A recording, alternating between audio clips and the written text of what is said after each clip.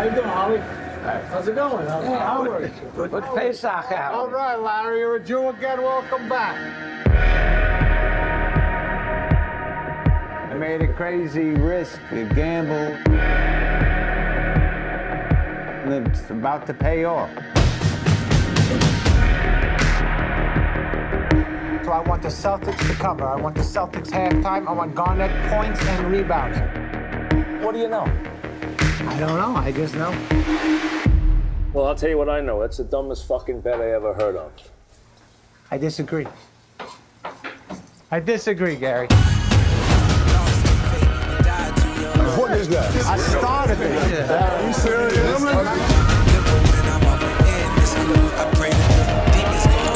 You're taking my money all over town, placing bets. I'm having very serious second thoughts. Are you serious right now? I know I fucked up. Howard, where's the money right now? Howard got my money. Howard! Is it too late?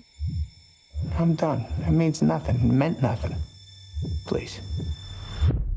Give me another shot. You like to win, right? This is no different than that. Black June power, nigga. This is my fucking way. You think I'm stupid, Howard? You and your whole fucking family. I heard you resurface your fucking swimming pool. you know how that makes me feel? Never You think your life is resurface more anything. important than I don't life? know who said that. I told you about how things were gonna go. You like the way things are going now? That's my family. Get the kids out of the house. You having a good time? Yes.